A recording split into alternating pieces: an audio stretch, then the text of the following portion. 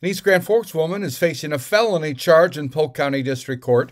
48 year old Shauna Leah Kamrowski of East Grand Forks has been charged with felony domestic assault. According to court documents, on March 10th at 2:04 p.m., an officer was dispatched to the 500 block of 2nd Avenue Northeast in East Grand Forks on a report of an assault.